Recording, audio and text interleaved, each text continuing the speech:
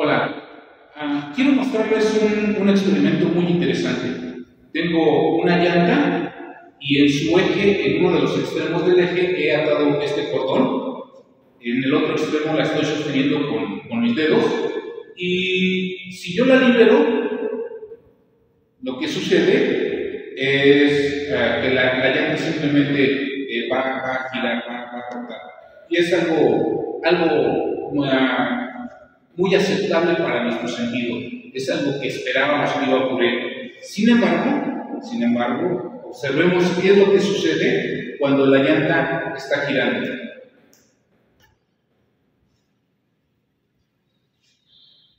Cuando la llanta está girando, ahora podemos observar que no rota, no, se, no se inclina la llanta, está girando alrededor del eje que determina el cordón. Bueno, eventualmente está disipando energía y, se va este, inclinando. Pero lo interesante es, ¿por qué sucede esto?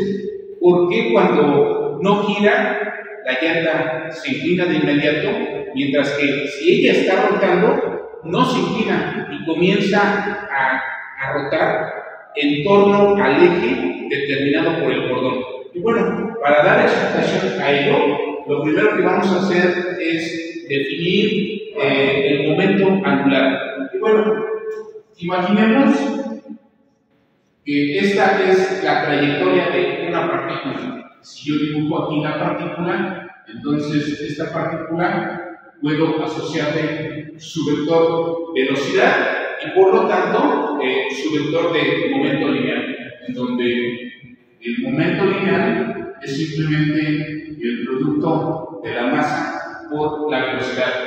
Ah, si yo tomo un punto arbitrario, por ejemplo este, a partir de este punto yo puedo definir o puedo aquí este, obtener el vector de posición de la partícula en torno a este punto. Lo puedo hacer así.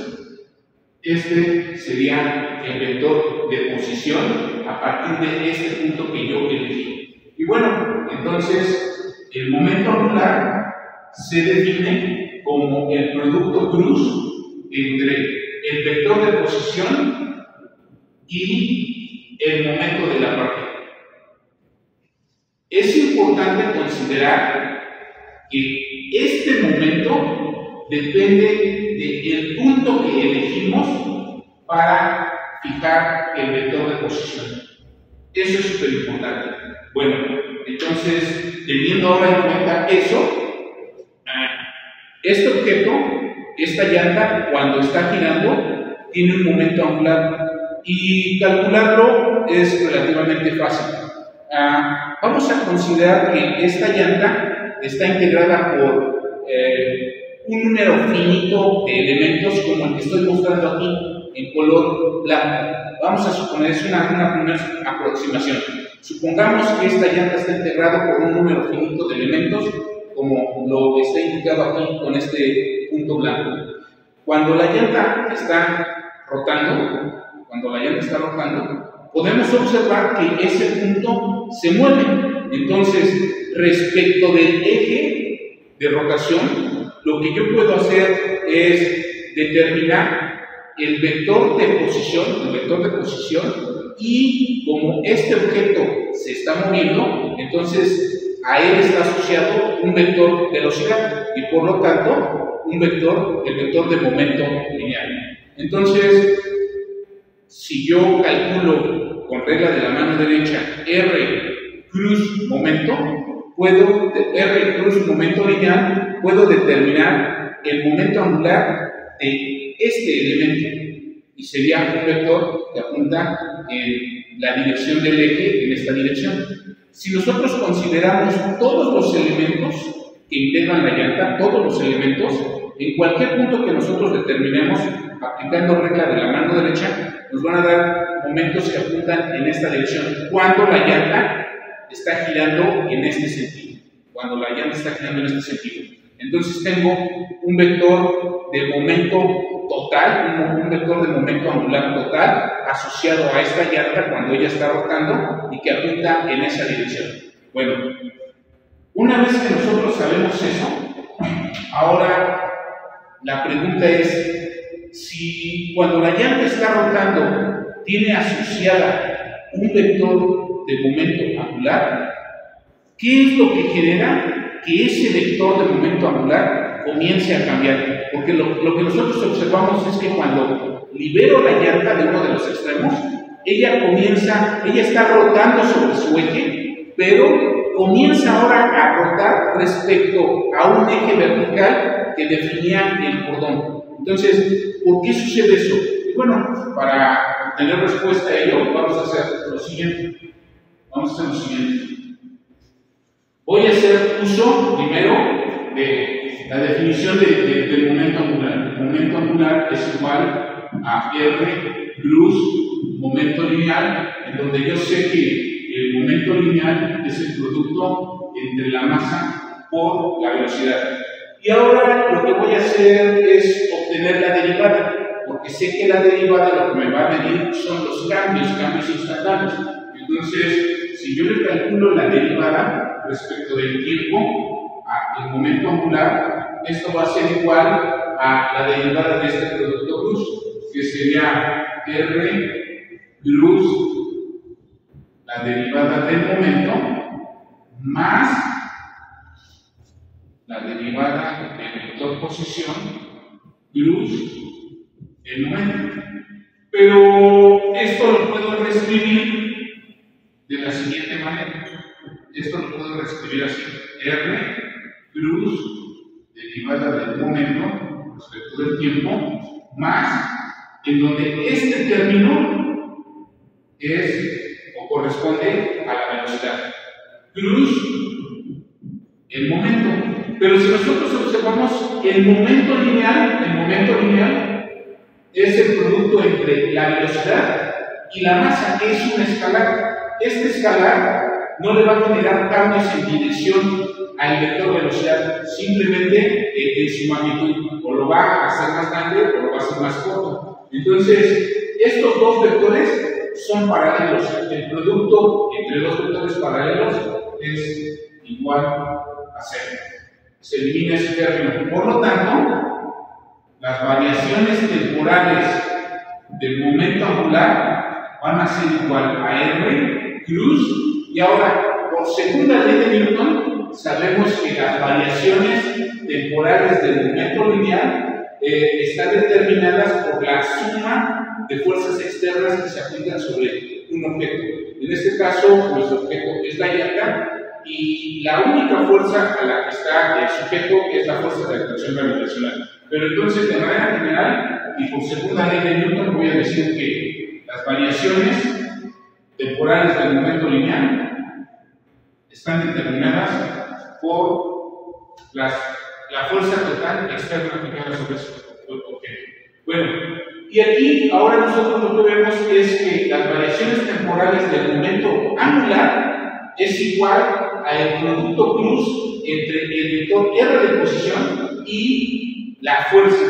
Y si nosotros recordamos, esto es lo que define a las tortas. Por lo tanto, por lo tanto, las variaciones temporales del momento angular van a estar determinadas por las tortas. Y bueno, regresando a nuestro experimento, regresando a nuestro experimento, observemos lo siguiente. Observemos lo siguiente. Vamos a hacer este, girar nuevamente la llanta, por favor. Perfecto. Nuevamente. Voy a, tomar un poco de cordón más largo para que lo podamos ver. Nuevamente.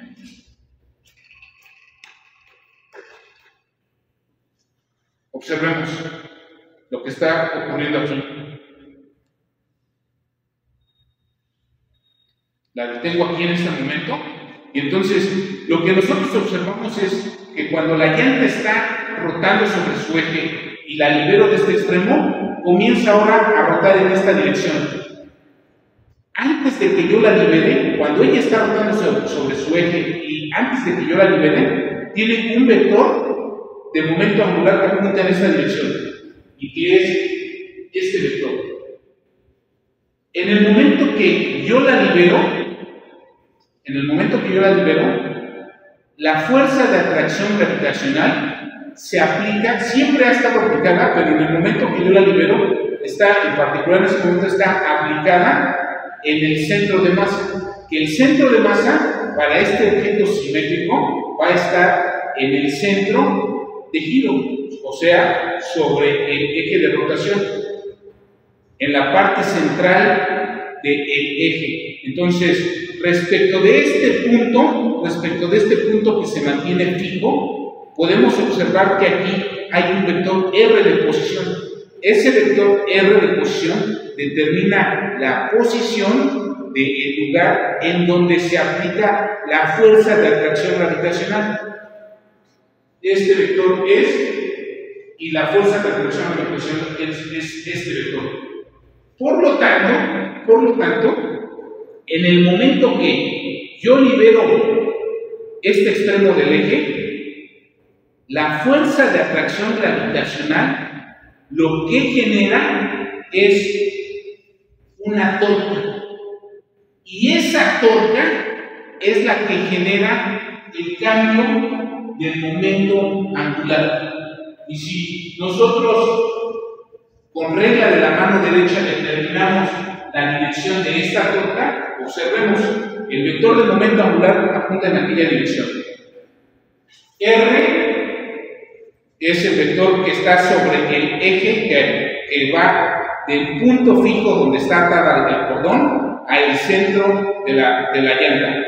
Es el vector R mientras que el vector de atracción gravitacional es un vector vertical que apunta hacia abajo. Entonces, R cruz fuerza gravitacional. Lo voy a poner en, este, en esta dirección. R, ¿sí? Aquí está, aquí está. R cruz fuerza gravitacional. Lo que obtengo es un vector que apunta en esta dirección. Cuando yo parto de esta posición, es R cruz, dirección de fuerza gravitacional, obtengo un vector, el vector torca, que apunta hacia mí. Entonces, lo que le va a generar al vector de momento angular es que sufra un cambio instantáneo en esta dirección. Pero como esa fuerza siempre está presente, entonces continuamente va ejerciendo esa torca, continuamente va ejerciendo esa torca, y eso es lo que genera que la llanta cuando está rotando comience ahora a rotar en torno a el eje que determina el motor.